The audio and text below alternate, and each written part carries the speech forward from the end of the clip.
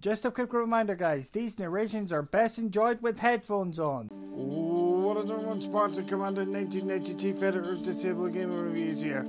For Easter, we're heading to the small snowy town of South Park, North Colorado to take a look at one of the successors of the Stick of Truth. Is this game worthy of remembrance like its predecessor? Or is this game just as bad as South Park 64? Well, without further ado, let's find out.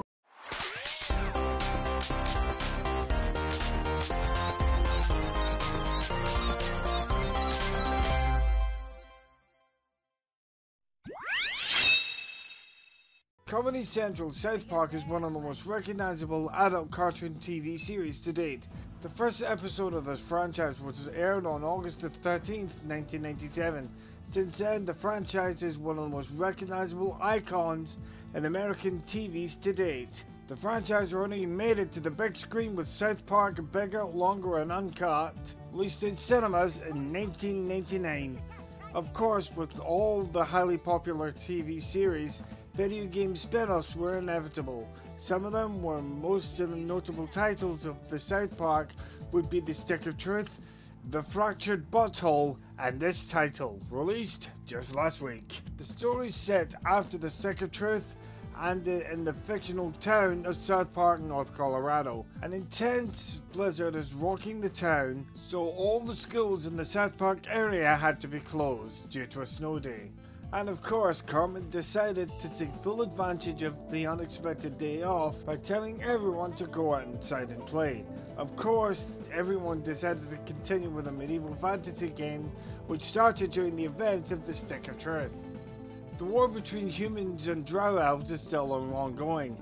The Drow Elves, led by Kyle Broflovski, is preparing to launch a massive attack on the kingdom of Kupa Keep. It is up to you to fight your way through the various levels and discover the truth about the mysterious weather phenomena that is currently rocking the town. The accessibility scores are as follows. Starting off strong, visibility give it 10. There are colorblind modes that can be changed in the accessibility sections of the options menu. In levels, teammates are represented by numbers. These numbers will appear above your teammates' heads, so you will know and where your that particular teammate is.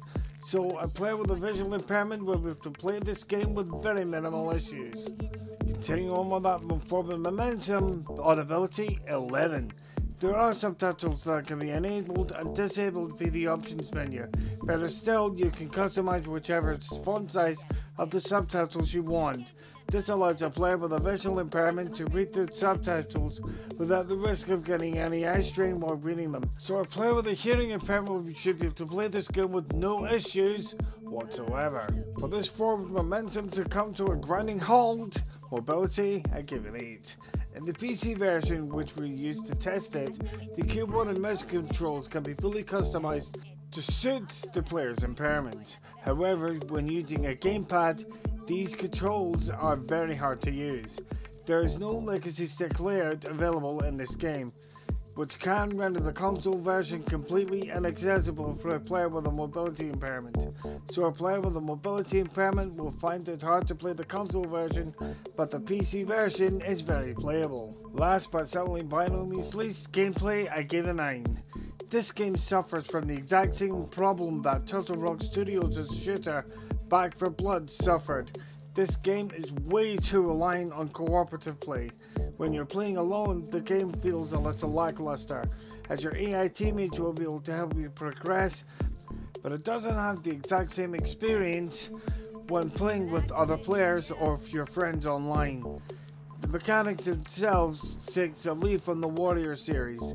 For the majority of the game, you will be constantly mashing the standard attack button as you fight your way through the levels. However, there are some RPG elements added to the mix which makes this game stand out. For example, you can enhance or change abilities while in Kupa Keep mixed in with a whole new mechanic which shakes this game a lot and that is the Bull card system. Before a campaign begins, you can select special cards with various effects. For example, making your opponent's weapons weaker, instantly resurrecting teammates and so forth which can be put into play at any time. On the other hand, the enemy team can do the same, making the each campaign run truly unique. In summary, South Park Snow Day is a fairly good co-op hack and slash game. Its unique mechanics stand out, but it doesn't exactly fill these large shoes in which the Stick of Truth left. The game is somewhat short.